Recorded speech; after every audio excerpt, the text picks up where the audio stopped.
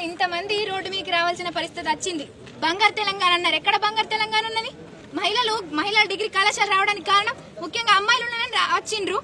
అదే పేరెంట్స్ రాణిస్తారా? ఇప్పుడు boys college చేస్తూ అన్నారు కో ఎడ్యుకేషన్ కాలేజ్ చేస్తున్నారు ఎందుకు ఇస్తారు ఇది ఏం ప్రభుత్వం అసలు? ప్రభుత్వమే ప్రభుత్వ కాలేజీని తీసేస్తా అంటే మేము ఎందుకు ఇస్తూ ఊరుకుంటాం? మేము స్టూడెంట్స్ ఎందుకు ఇస్తూ ఊరుకుంటామండి?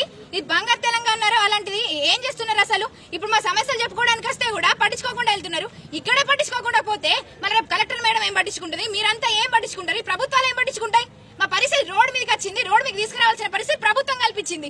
అలాంటి ప్రభుత్వం మా కోసం ఏం చేస్తుంది? మేము స్టూడెంట్స్ రోడ్ పైన ఎక్కడానికి కారణాలు ఏంటి?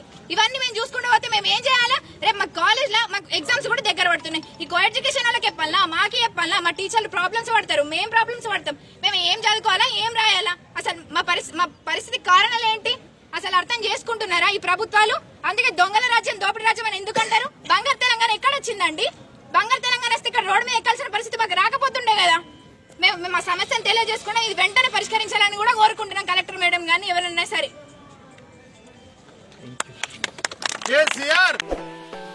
Subscribe us and press the bell icon for more interesting updates.